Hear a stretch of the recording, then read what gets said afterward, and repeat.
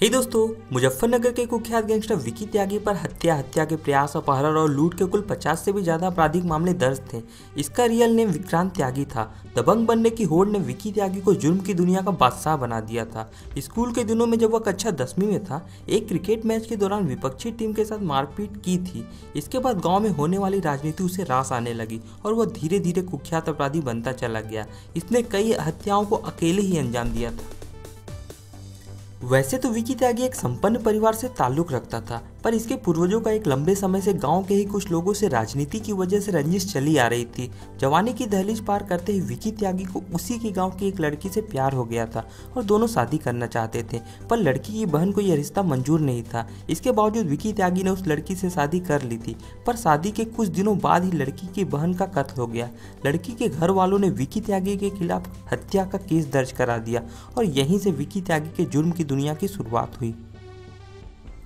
इसके बाद विकी त्यागी ने दिल्ली एनसीआर समेत कई जिलों में जुर्म की बड़ी वारदातों को अंजाम दिया। इस पर जिला कारागार पर तैनात उप निरीक्षक चुन्नी लाल की हत्या तथा पुलिस वैन पर अपने साफ़ शूटर से हमला कराने का आरोप भी लगा। इसी बीच इसने ब्लॉक प्रमुख का चुनाव भी लड़ा, जिसकी वजह से इसकी पूर्व चेयरमैन उदयवीर से चुनावी रंजिश शुरू हो गई। इस रंजिश की वजह से दोनों परिवार के दर्जनों लोगों ने जान गंवाई थी।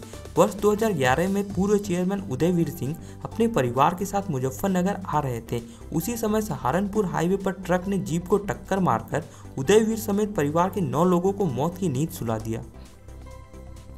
इस हत्याकांड में विकी त्यागी को भी नामजद किया गया था। फरवरी 2015 में इसी केस की सुनवाई चल रही थी और विकी त्यागी भी कोर्ट में मौजूद था। उसी समय सागर नाम का लड़का भरी अदालत में वकील की ड्रेस में फाइलों के बीच पिस्टल छुपाकर घुस गया।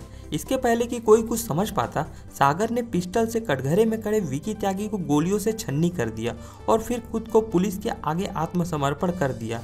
कई गोलियाँ लगने की वजह से मौके पर ही विकी त्यागी की मौत हो गई थी। दोस्तों तो कुछ ऐसी थी विकी त्यागी की स्टोरी अगली वीडियो आप किस पर चाहते हो, नीचे कमेंट करके बताओ। ये वीडियो आपको अच्छी लगी हो तो लाइक और शेयर ज़रूर करें। इसी तरह की और वीडियो के लिए हमारे चैनल को सब्सक्राइब करें। मिलते हैं अगली वीडियो में। तब तक के लिए धन्यवाद।